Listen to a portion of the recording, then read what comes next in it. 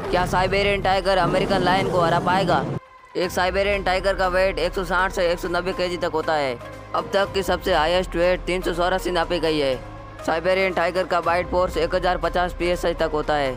एक American lion को American पीड लायन के नाम से भी जाना जाता है, जो नॉर्थ अमेरिका में आज से ग्यारह हज़ार साल पहले पाए जाते थे, जो आज के लायन से 25 गुना बड़े होते थे।